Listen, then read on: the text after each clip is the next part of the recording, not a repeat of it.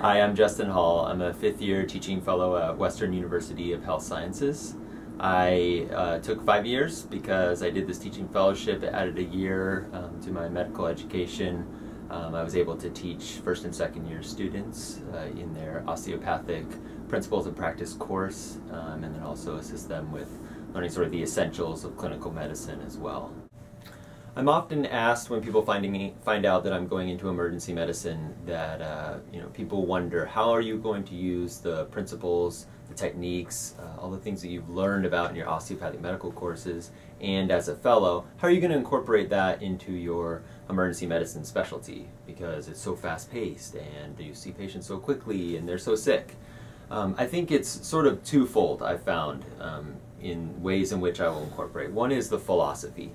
So as osteopathic medical students, we learn that, uh, especially, um, you know, with, with all of our patients, the whole aspect of the person is what you have to consider when it comes to someone's health.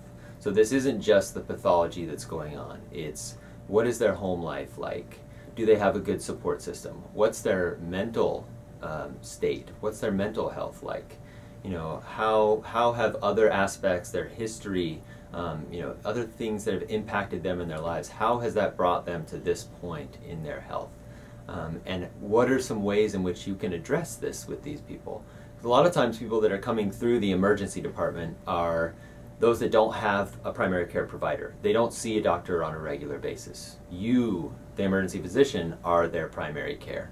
Um, and so you are the only person that they see who will has the opportunity to give them advice on the right foods to eat, the um, you know the ways in which they can deal with their stress and with their depression, um, the ways in which they can you know improve their home life to help them with their health um, if they have some type of debilitating you know injury or disease, um, and so and you and you're able to send them to the appropriate places, um, the appropriate doctors, the appropriate uh, you know uh, areas of medicine that can help them with whatever they have going on. So if you keep that in mind, that this just this whole process going on, bringing this patient to you at this particular moment, um, you know, you can really have a great effect.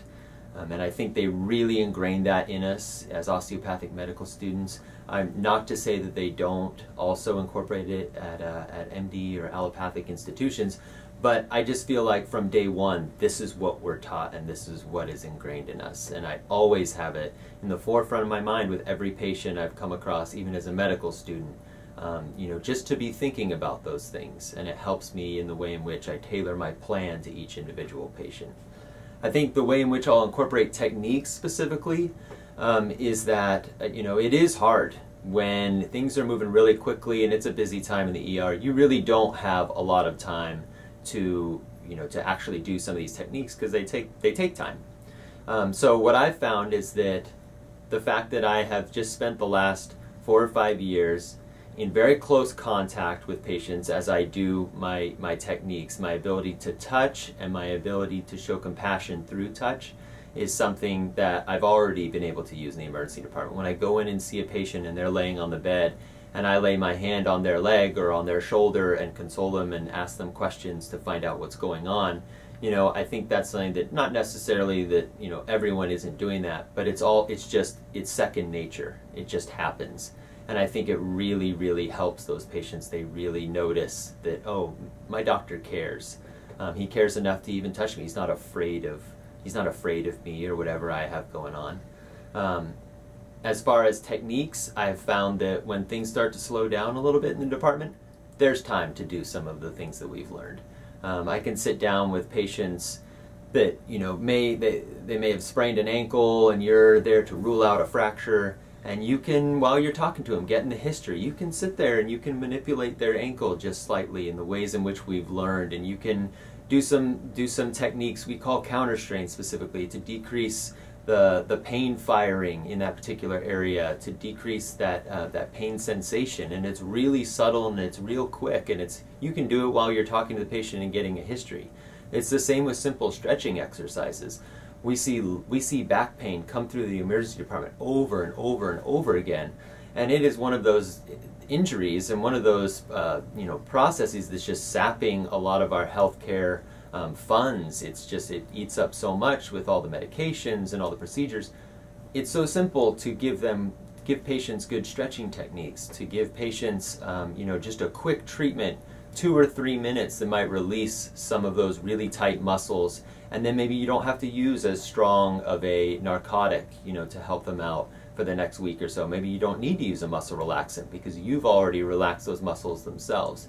And I can tell you that our, some of our techniques take longer and some of them can only be two or three minutes and really that's all you need. And again, you can be talking to your patient at the same time.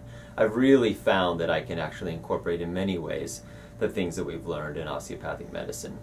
And for me personally, I want to have a very dynamic career. So I could see myself in the twilight of my career sort of cutting back on maybe some of my you know, emergency medicine on my feet, go, go, go type shifts, and picking up some outpatient stuff at a local clinic, trying to do some of the OMT, um, you know, having more time with my patients, spending a little bit more time, um, and using, basically coming back to my roots essentially is how I like to think of it.